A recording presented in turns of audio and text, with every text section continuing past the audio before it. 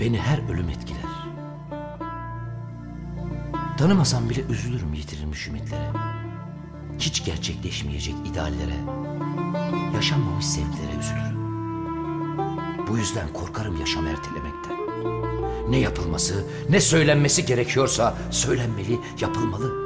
Seviyorsanız sevdiğinizi bugün söyleyin, sevdanızı bugün yaşayın.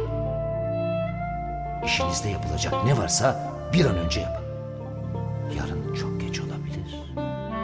Bir anda bitebilir her şey.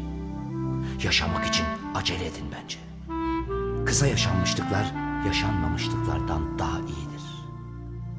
Geriye dönüp baktığınızda keşkeler çoğunlukta olmasın. Uzun vadeli hedefler için bile bugünden harekete geçmeli. Yarınlar çok uzakta olabilir. Daha okulda başlamıyorum üzertelemeye. Hep yarına yatırım, bugünü sonra yaşamacasına. İşe gireyim sonra, evleneyim sonra, çocuklar büyüsün sonra, emekli olayım sonra, sonra, sonra. Bu sürecin başında, ortasında yaşam her an sona erebilir. Sonrası olmayabilir. Fedakarlıklar güzel ama unutmayalım dostlar. Herkes kendi hayatını yaşar.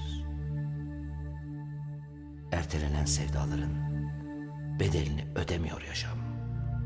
Benim bildiğim